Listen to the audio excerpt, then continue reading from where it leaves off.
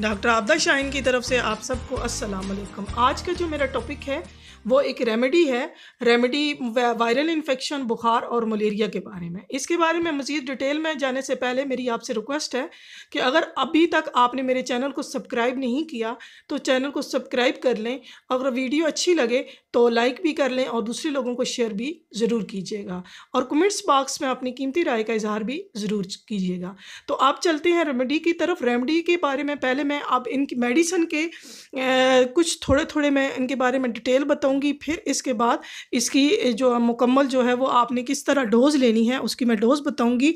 तो चलते हैं, अब मेडिसिन की तरफ़, पहली मेडिसिन है बेलाडोना टू हंड्रेड।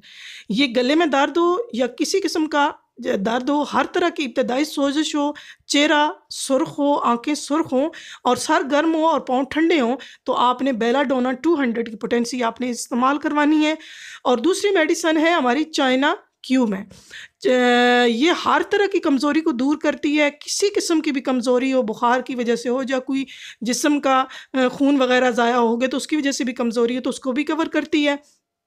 इसके अलावा पेट में गैस को कम करती है, खाना हज़म करके इसको जो है खाना खा, हज़म करती है और इसके बाद इसके अमल को ठीक करके मेटाबॉलिक सिस्टम को ठीक करके गज़ा को हमारे जिस्म का हिस्सा बनाती है और ताकत हमारी को बहाल करती है।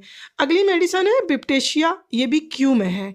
ये हर तरह की बदबूदार अखराज टाइफाइड, मलेरिया के लिए ये चोटी की दुआ है।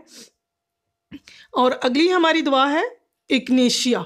इग्नेशिया, जब किसी किस्म के भी, कोई भी जानवर, मच्छर या परिंदे वगैरह काट लें तो उसकी वजह से जो खून में जहर हो जाए तो उसको साफ़ करती है। इसकी वजह से अगर किसी चीज़ के काटने की वजह से वायरस जो है, या कोई वैसे हवा में वायरस की, जो है वो आपके जिसम में दाखिल हो जाता है, जो खून में शामिल हो जाता है तो उसे खून को साफ़ करके उसे ठीक करती है और इंसान को सेहतमंद बनाती है। अगली दवा है हमारी सवरायतिया चरायता ये जो मेडिसन है, ये बुखार, मलेरिया, निज़ाम इंज़ाम की ख़राबी और जिगर के मसाइल और सांस की बीमारियों ब्रोनकाइटिस के इलाज के लिए भी ये बहुत अच्छी दवा है। बुखार, यानी बुखार हो, उसके साथ खांसी हो तो उसको भी ठीक करती है क्योंकि कि किसी किस्म के भी इन्फेक्शन को दूर करती है। तो ये जनाब, ये सारी मेडिसन आपने बेलाडोना जो 200 की पोटेंसी है, ये आपने एक घूंट पानी लेना है, उसमें पाँच पाँच कतरे, अगर तकलीफ़ शदीद हो तो आपने हर घंटे के बाद पाँच कतरे नीम गर्म पानी के अंदर डाल के आपने पी लेने हैं। और अगर तकलीफ़ कम हो जाती है, थोड़ी थम जाती है तो फिर आपने तीन टाइम इसको सुबह दोपहर शाम टू हंड्रेड की पोटेंसी पाँच कतरे थोड़े सी नीम गर्म, एक घून नीम गर्म पानी के अंदर डाल के लेने हैं।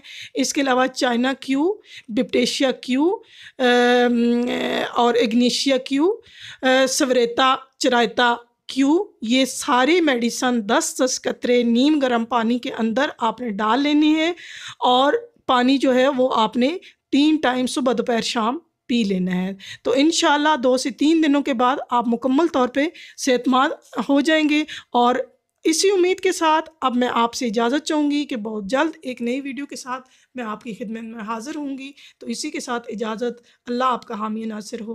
अल्लाह हाफिज़।